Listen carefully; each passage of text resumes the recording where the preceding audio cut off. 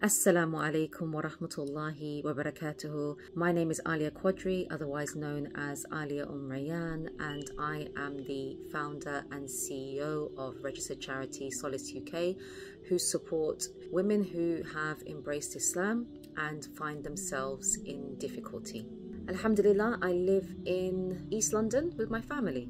By the permission and guidance of Allah subhanahu wa ta'ala, I became Muslim in 1999. My Shahada story is a long one, and I share that story on my social media platforms. But just to summarize, my parents were going through quite a challenging time with one another, and that kind of produced challenges with my own mental well being. And I ended up becoming very close friends with a practicing Muslimah who was going through similar trials at home herself. And I noticed that she had a profound sense of peace. Um, she was able to navigate through that storm with faith, with reliance upon Allah, with a sense of knowing that this was a test, it was a trial, and it wasn't affecting her as much as it was affecting me. We became very, very close friends, and I had a great deal of love for her. And I wanted to save her from what I thought was a very backwards, a religion that would hold her back from succeeding in life. And so I began to look into Islam and through looking into Islam to save her from this lifestyle, I ended up becoming convinced myself. I was extremely scared at the changes that were taking place, both in my mind and my heart, and eventually decided to cut off contact from this particular friend and put all of, all of the books and cassettes aside.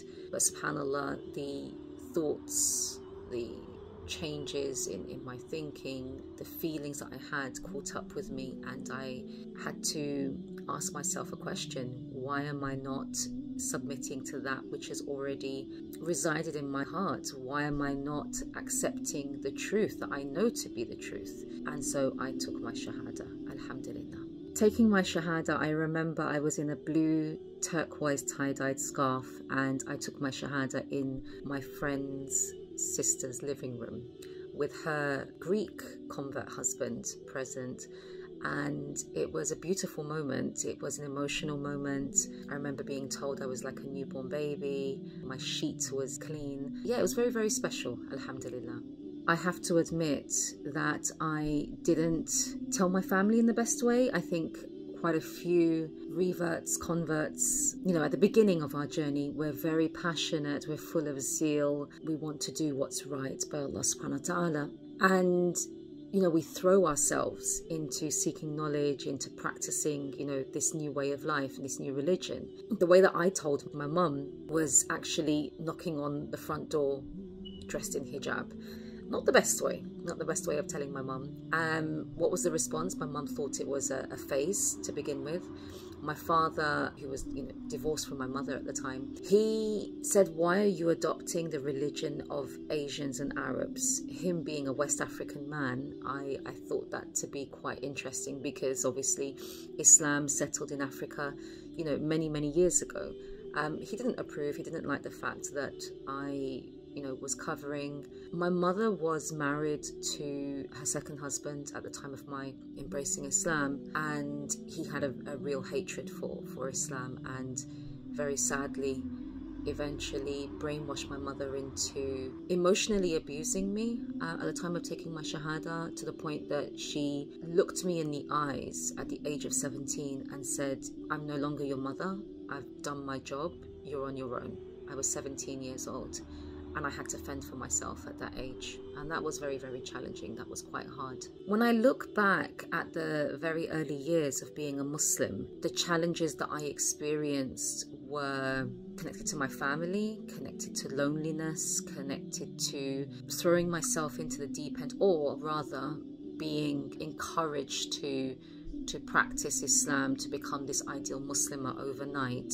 I, I wasn't in the best of hands as a very new Muslim, as a very young new Muslim. And so I kind of went through emotional struggle, isolation, loneliness, financial difficulty, having to fend for myself and find a job at a young age, falling into the wrong type of community, confusion. I kind of went through it all in the first few years of, of being a Muslim. And I think now, having been a Muslim coming up to 24 years, Alhamdulillah, my struggles are different. Um, they're not as they used to be when I was a very new Muslim. I think, and maybe this is the case for, for, for all Muslims, for all Muslim women, it's just ensuring that I journey to Allah subhanahu wa ta'ala as myself. And I think, you know, I, obviously I've been a Muslim for a very long time. So it's no longer the case where I'm trying to find myself.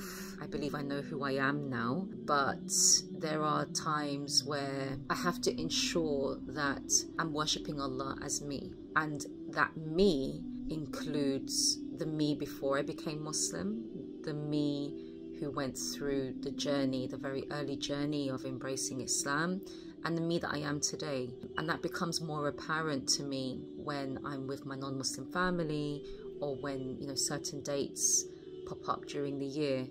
Um, I'm reminded that yes, you know, I, I wasn't born into Islam and there is a side of me that there is a side of me that requires patience, that requires understanding, that requires a level of compassion as I journey through relationships with non Muslim family, and as I said, dates throughout the year which trigger different reactions from non Muslim family. One thing that I wish the community knew about reverts is that whilst it's wonderful and fantastic that, you know, scores of men and women are embracing Islam, the journey doesn't end at the Shahada. The journey, in fact, begins at the time of the Shahada. That's when the support is needed from the community. That's when, you know, a new Muslim will encounter difficulties. That support has to extend years beyond, you know, years after taking the Shahada. We tend to think that the challenges and issues and trials that befall a revert is only when you know is only during the first few years of being a Muslim when actually those challenges can manifest many many many years down the line. And so I want the community to know that da'wah calling a person a man or a woman to Islam is a noble deed. Taking that person through the shahada is a noble deed but supporting that person in the days, weeks, months, and years beyond their Shahada is what is needed. When we think about the early new Muslims that came to Islam and the support that they received from the Ansar, this is what is needed within the Muslim community. Support is required way beyond the Shahada. I am taking part in this series as the founder and CEO of Solace UK, also as a revert, as a revert who has gone through difficulties, who found herself homeless, who found herself, you know, crying because she was so lonely, who found herself confused with so many questions about Islam, who found herself in a state where her heart was in a state of so much pain because of the early challenges that she went through at such a young age and who tried her best to hold on to her faith but didn't have the support around her to do so as she navigated those challenges. I am taking part in this series to highlight the fact that reverts need support way beyond the Shahada. Awareness is required, and after that awareness, support through volunteering, through donations, through being that actual support for a fellow revert. That's why I'm doing this series. I work with a fantastic team of women who know firsthand what it means to struggle as a woman who has embraced Islam. We are a team who are majority reverts, and so we have, you know, first-hand experience of the challenges and difficulties that our beneficiaries and service users bring when they apply to Solace for support.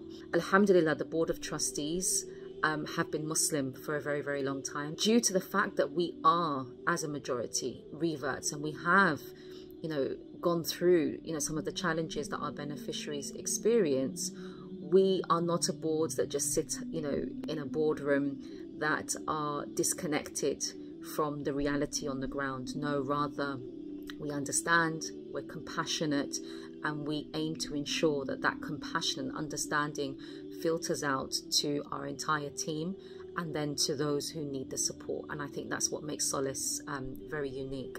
As I founded the charity and I am the CEO of the charity, uh, I may seem biased, but I believe that Solace is a very unique charity. We want to ensure that every single woman who becomes Muslim enjoys her faith, thrives in her chosen faith, and enjoys life supported by those who are meant to support her, the Muslim community. And I'm very, very passionate about what we do. And I ask Allah subhanahu wa ta'ala to continue to bless us and to continue to direct the community to support us so that we can support our fellow revert sisters in difficulty.